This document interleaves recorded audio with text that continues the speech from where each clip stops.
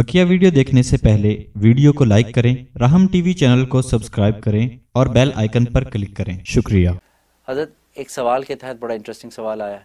आपको पता है कि ज़िक्र के हवाले से कुरान शरीफ कुरान शरीफ की एक आयत है, अला बिक्र तत्माइनकलूब के ज़िक्र अल्लाह के ज़िक्र से दिलों को इतमान मिलता है। अब तजर्बे में देखा जाए तो बहुत से ज़ाकरीन जो हैं, वो ज़िक्र करते हैं, लेकिन उनके दिल उसी तरह बेचैन रहते हैं। उनके हालात नहीं बदलते, उनकी ज़ाहरी अहवाल हों या बात नहीं तो उसमें कुछ ना कुछ तो परेशानी रहती है। तो जाकिरीन और गैर जाकिरीन बज़ाहिर तो सेम ही नज़र आते हैं। तो इस आयत का क्या मतलब हुआ? अच्छा। अच्छा सवाल है। असल में इसमें जो फरमाया कि अला बिज़िक्र तत्मिनकलूब ख़बरदार दिलों का इतमान जो अल्लाह के ज़िक्र में है। देखा जाए कि इस इतमान से कौन सा इतमान मेरा मुराद है। क्योंकि इतमान की दो किस्में हैं एक इतमान तबी और एक इतमान अकली। एक तबी तौर पे इतमान इंसान को हासिल होता है एक वो इतमान है। एक अकली तौर पे इतमान तो इस आयत में अकली इतमान मुराद है तभी इतमान मुराद नहीं है। अच्छा। हाँ ये अकली इतमान मुराद है लिहाजा यही वजह कि ज़िक्र करने वाला जो है वो अकली तौर पर जो है वो मुतमिन होता है। उसको पता है मैं अल्लाह को याद कर रहा हूँ। अल्लाह के इसका अजर बन रहा है। अल्लाह तबारक वाली मेरी जो है वो नफ़े को देख कर जो मेरे मंशा को पूरा करेगा, अपने वक्त में मेरी मुराद पूरी होगी। और जिस मकसद के लिए मैं ज़िक्र कर रहा हूँ, वो नफ़े से खाली नहीं है, क्योंकि अल्लाह तबारक वाली नाफिज़ात है और वो अल्लाह की ज़ात जो है वो कदरदान है। मेरी ये ज़िक्र का नफ़ा मुझे ज़रूर पहुँचाएगी। तो इसको कहते हैं इतमान अकली। तो इस आयत में इतमान अकली मुराद है। और वो जिस इतमान की आप बात कर रहे हैं कि बंदे को या तबीयत को इतमान नहीं बेचा वो इतमान तभी है। इतमान तभी का वादा नहीं है। जिसका वादा है वो इंसान को हासिल होता है। और जिसका वादा नहीं है वो इंसान को अगर हासिल ना हो तो वो इस आयत के ख़िलाफ़ नहीं है। तो इतमान तभी और इतमान तभी जो है वो तो पैगंबर को भी ज़रूरत पड़ती है बस अवकात हाजी हज़रत इब्राहिम सलाम ने जो कहा था कि रब्बी अरीनी कई फ़तो ही अलमोता ए मेरा मुझे दिखाइए, आप मुर्दों को ज़िंदा कैसे करते हैं? तो अल्लाह ने अवलम तोमिन? क्या तुझे इस पर यकीन नहीं है कि मैं मुर्दे ज़िंदा कर सकता हूँ?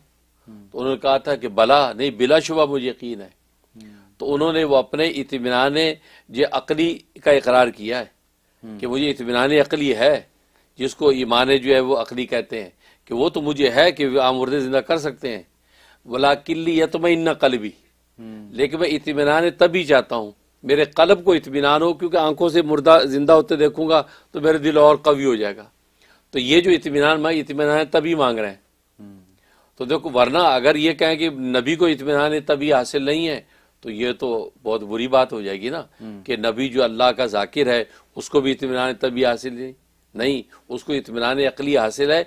इतमान तभी के लिए वो दरख्वास्त कर रहा है कि मुझे मुशाह करा दीजिए मुर्दे ज़िंदा कैसे होते हैं तो फिर मुझे वो जो तभी जो इतमान वो भी नसीब हो जाएगा।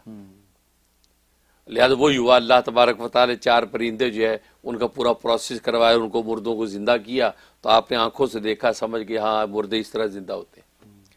तो मालूम है कि इस इतमान से मुराद भी वही है। तो इसको इतमान जब वो अकली मुराद है और वो अल्लाह के ज़िक्र से मिलता है और इतमान तभी। ऐसे जैसे किसी मरीज़ का ऑपरेशन हो रहा हो, उसकी पस निकाल रहे हैं, उसका फोड़ा काट रहे हैं, नासूर तो उसको तकलीफ़ हो रही है ना? कितनी तकलीफ़, परेशान हो रहा है। लेकिन उसको इतमान अकली है कि एवेंचुअली क्या होगा? सुकून हो जाएगा। मैं बिल्कुल ठीक हूँ गंद निकल, पस निकल रहा है। तो ये लेकिन इतमान तभी नहीं है। तबीयत उस वक्त बेचैन है, तकलीफ़ महसूस कर रही है, टेंशन महसूस कर रही है। या कड़वी दवा खाते हुए तो उसकी तबीयत जो है बेचैन हो रही है कि ये कड़वी दवा थूकने को दिल कर रहा है। कुनीन की गो, गोलियाँ खा रहा है बेचारा। लेकिन इतमान अकली है कि ये कुनीन की गोलियाँ खा लूँगा मलेरिया रहेगा नहीं। दो हज़ार में दिन में ठीक हो जाऊँगा। तो बिल्कुल इसी तरह यहाँ पर भी तो उसको इतमान अकली नसीब होता है इस आयत के तहत। इतमान तभी मुराद नहीं है और इतमान तभी जो है ज़ाहिर है कि इंसान को बसौकत। और बसौकत फिर ये भी है कि इंसान की जो बेचैनी है वो उसका ये फाइंड आउट नहीं कर पाता बेचैनी है किस वजह से। अच्छा। हाँ और हालाँकि वो बेचैनी भी हकीकत में चैन ही होती है। अच्छा। हाँ। अच्छा ये भी ऐसे हज़रत थानी फरमाते जैसे चटनी और या करारे कबाब को खाए हाँ। तो सी सी करता है ना कानों से भी धुआँ नहीं कर रहा होता आँखों से भी आँसू नहीं कर रहे होते हैं। हैं वो चटनी रोटी के ऊपर लस्सी पी पी के मुँह क्या कहना वो मिर्चें कम करता है। और लोग कहते हैं यार धुआँ नहीं कर रहा पसीने छोटे छोड़ दो छोड़ता भी नहीं। नहीं यार मज़ा आ रहा है यार खाने दो। पसीनों को छोड़। अब वो देखो यहाँ बाज़ाहिर कैफियत क्या है लेकिन अंदर से उसको जो मज़ा जो आ रहा है ना छोड़ भी नहीं रहा।